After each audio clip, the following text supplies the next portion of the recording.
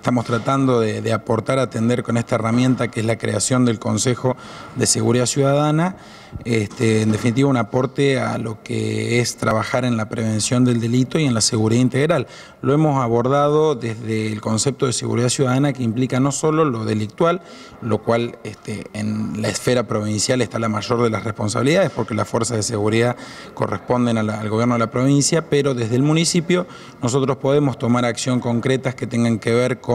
estudiar situaciones y recomendar este, políticas activas que tengan que ver con la prevención y fundamentalmente el cuidado de la seguridad eh, física, psíquica, de integridad física del vecino. Es decir,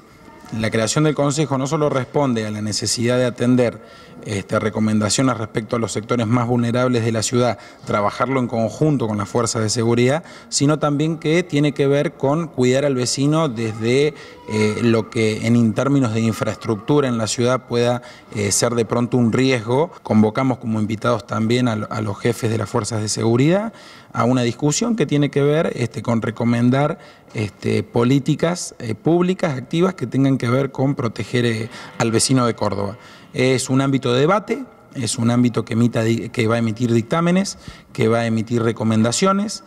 que algunas de ellas las va a llevar directamente a cabo el Departamento Ejecutivo de Córdoba, este, atendiendo a la problemática que desde su esfera se pueda resolver, y en otros casos se transformarán en, sugerencias, recomendaciones o pedidos directamente al gobierno provincial o a las fuerzas de seguridad eh, para que atiendan lo que, lo que definan y discutan todos los ciudadanos en su, en su conjunto. Pero desde ya descuento porque tiene por ordenanza la participación de los CPC, que los CPC seguramente van a ser un ámbito